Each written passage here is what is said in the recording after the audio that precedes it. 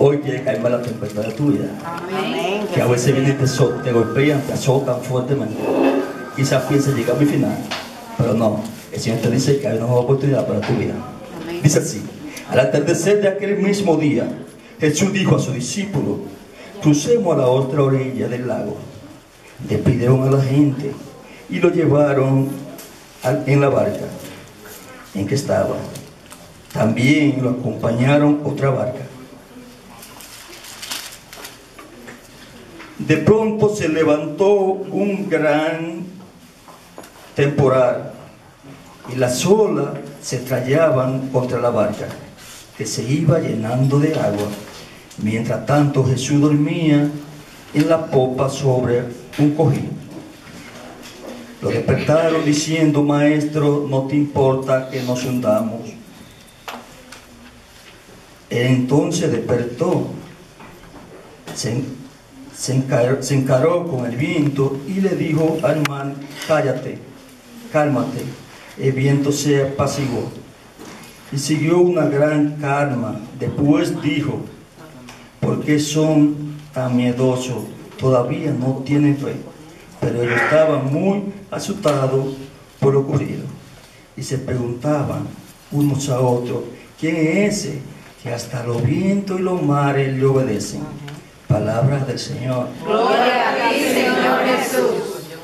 Quizá, quizá ustedes se preguntan, ¿y quién es ese que movió el hermano José desde Hebrón hasta acá en una silla de ruedas allá arriba para allá? Sí. A pesar de las harinitas que estaba cayendo. Ese que movió a mí, ese mismo que fue que te movió a ti a que no te lugar. Y si viniste, te repito, confiando en el poder de Jesucristo, vida puede ser transformada como fue la mía hace más de 17 años. Más de 17 años. Eso no quiere decir que cuando tú vas a ser transformada, vida, tú no vas a tener pruebas. Claro, vas a tener pruebas, pero tendrá alguien con quien resolver la prueba. Dice Eclesiastés capítulo 2, verso 10. Si te decides servir al Señor, prepárate para la prueba porque vendrán a tu vida como nunca te imaginaste. Porque la palabra de Dios nos, viene, nos cuenta ahí en Marcos que estaba Jesús predicando y le, dijo a los discípulos, despidan a la gente y vamos a la, otra, a la otra orilla del lago. Dice que cuando iban, Jesús se durmió, imagino cansado, eh, un trabajo fuerte. Dice que se metió un temporal fuerte y que venía la sola y golpeaba fuertemente la barca, se entraba el agua. Me imagino que era, esas olas eran fuertes, pero quizá son más fuertes las que están golpeando tu familia, las que están golpeando tu hogar. Yo no la conozco esa ola, no sé cuál es, pero Jesucristo y tú sí lo sabes. ¿Cuál es esa ola? ¿Cuál es ese tiempo? ¿Cuál es esa brisa que te da zarandeado tu familia? Que te la mueve de lado y lado. Pero dice una canción, cristiano que se descuida, se descuida, Satanás los zarandea. Y cuando sale a la calle se la cosa más fea. Debemos ponernos firmes en la roca que es Jesucristo. Para cuando vengan esos, esos momentos de temores, podemos decirle, en el nombre de Jesús, yo echo fuera toda esa tempestad que viene a mi vida. No teman por enfermedades o por diagnósticos que tengan los médicos. No teman. Conozco un joven que hace aproximadamente 12 años, un joven muy deportista en mi país, iba rumbo a casa de su madre un 6 de, de noviembre, iba a dar la buena a su madre. De repente se aparecieron dos, se aparecieron una motocicleta e iba con su tío en una moto. Le dieron dos disparos. Y el joven, porque confiaba en Jesucristo, está vivo ahora. Cuatro días en el hospital le dijeron los médicos, llévenselo a su casa porque como quiera se va a morir.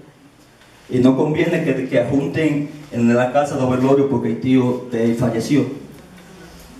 Lo mandan a la casa, a los 15 días regresó, se regresó al centro médico, San Francisco de Macorís, no sé si muchos ya saben, siglo XXI.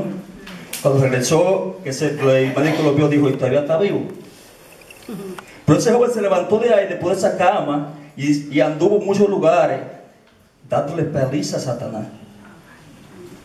Tantos lugares que hoy está aquí presente frente a ustedes. Amén. Para la glorificar el nombre de Dios. No importa, no importa lo que tú estés pasando, la No importa que tenga una cama acostado allí, que los médicos digan ya no puede. Ahí cuando Jesucristo dice, ahora que yo. ¿Por qué? Porque nuestro caminar es, nuestro caminar es limitado. Nuestra mirada puede mirar a una esquina, si la vida está buena, si no, no llega hasta allá. Pero el caminar en Jesucristo pasa tiempo tras tiempo. Jesucristo ve desde la creación la persona. No estamos aquí porque fue coincidencia. Estamos aquí por un plan un proyecto de Dios. Se he contado las palabras que le dijo Jesús a sus discípulos. Porque temen. No sé si estás temiendo esta noche, estoy temiendo en tu vida, en tu familia. Sientes temor de perder a alguien. Pero yo te digo a ti, te exhorto tengo la seguridad, la certeza de que cuando tú hagas eh, tengas algún problema, sea tu familia, tú le oh Señor, yo lo deposito en tu mano y lo pones como yo pongo ese papel ahí. Va a estar seguro, hermano Jesucristo, y nada ni nada le podrá hacer daño. ¿Por qué? Porque si él dormía en aquella popa, en aquella popa de aquel barco, ya él no duerme allá. No, no hay duda que estoy viendo allá. Porque, esa, porque hace mucho que está en tu casa, en tu corazón, en tu vida, y se está paseando aquí en medio nuestro. Lo que pasa es que quizás tú no lo, te das cuenta porque lo estás viendo que va a venir con una túnica blanca, como lo, como lo presenta en la película. No, no tiene túnica blanca.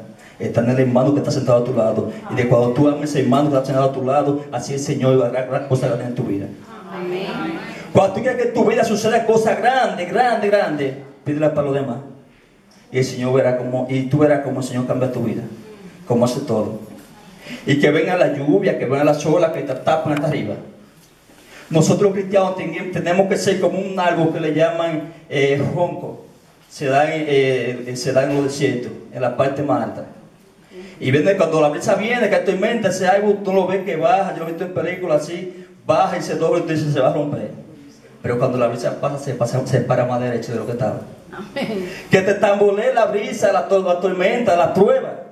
Los problemas en tu casa que te los tentes, tiempo de lado y lado. Si estás firme en Jesucristo, dirán las personas que te ven caminando, dicen, ese verdaderamente tiene a Jesucristo, porque soportó tantas pruebas. Y que con ese testimonio de pruebas que tú, que tú superaste junto a Jesucristo, siga para convencimiento de más personas, que sea para que personas se sean salvadas a través de ti. Santo Dios, aleluya. ¿Eh? Bendito Dios, le mando Entonces, sigamos viendo la palabra. Dice Filipenses 4:13, todo lo puedo en Cristo me fortalece. No todo, no algo nada más. Porque hay gente que yo veo que tiene un Dios que, que sale una fiera en la cabeza. De ahí no pasa. El Dios que tú crees, que yo, que yo estoy creyendo, es un Dios que, es un Dios que levanta muertos. Es un Dios que sana el cáncer, sana el sida. Sanó a paró a Lázaro cuatro días de muerto. Dice la palabra que ya huele feo, Lázaro. Los problemas de tu casa te llevando a huelen feo. Es más fácil para Jesucristo solucionarlo que levantar a Lázaro. Alaba lo que viene, hermano José.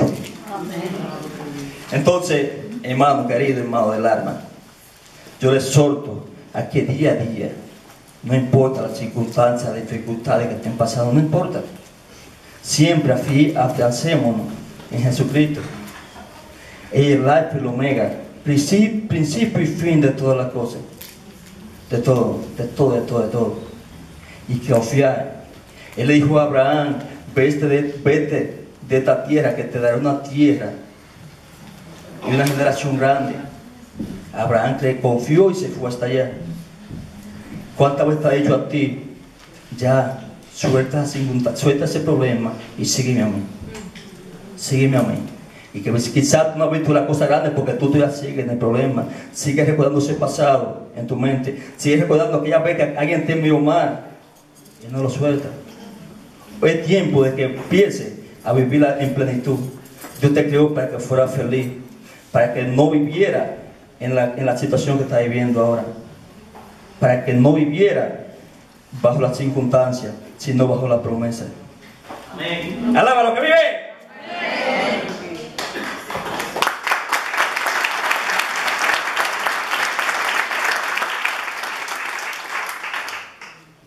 El Señor, el Señor, el, el Señor es grande con nosotros, tan grande que tú puedes estar acá, acá, y en tu casa puede haber una persona enferma, y esa persona tiene que recibir poder de Dios, no importa. A mí muchas personas me llaman de otro país y me dicen, hermano Miguel, mi nombre es José Miguel, me dicen hermano Miguel, pero más rápido. Hermano Miguel, yo estoy pasando por circunstancias difíciles, ora por mí. Y yo le digo, ¿tú estás creyendo en Dios? Sí, pues pégate el teléfono y ora conmigo. De, y, hay personas que han recibido sanaciones. Para tú orar una persona tiene que ser eh, eh, un diácono, ni tiene que ser el padre Chelo, que es un excelente predicador. No tiene que ser él. Tú, tú fuiste bautizado, fuiste sellado, sacerdote, profeta y rey. El rey tiene autoridad sobre el pueblo. Tú tienes autoridad sobre los problemas, sobre las dificultades. Cuando tú le digas a un cáncer, yo te, yo te ato y te reprendo en el nombre de Jesús. Así sea. No importa la circunstancia. No te, no te jinque ante nublado. Confía en Jesucristo, que si Él mandó a callar el mar, y el mar le obedeció, y aún los espíritus le obedecían. Él tiene poder, sobre, para, él tiene poder y dijo, yo me voy por mi nombre, en mi nombre harán cosas mayores que lo que he hecho. Y fue tanto lo que hizo que dice en Juan que solo se escribió una parte de lo que Jesucristo hizo. Porque si se ve Cristo todo, en el mundo no hubiera espacio para colocar tanto libro. Y él te dijo a ti, me dijo, a mí tú en mi nombre harás cosas mayores que las que yo hice. Hermano, así yo creo y confío. Y cuando te vaya y hable sobre un enfermo, no importa la circunstancia, sobre una persona que esté deprimida, que tenga lo que tenga, tiene que salir corriendo. Porque usted va unida con el Espíritu Santo de Dios. Amén. Así lo declaro yo esta noche. Amén. Hermano, vamos a orarle a Papá Dios para que Él sea, Él sea el que tome el control y domina nuestra vida. Nosotros quizás podamos hacer lo más posible, los padres, yo no tengo hijos, pero los padres hacen lo más posible de sacar a sus hijos hacia adelante. Pero si no tienen a Jesucristo como fundamento de su casa, de su vida, que sea, que sea Él, que no duerma en la barca, sino sea Él que dirija la barca de tu vida. Que sea, que sea el centro de tu vida, de tu corazón.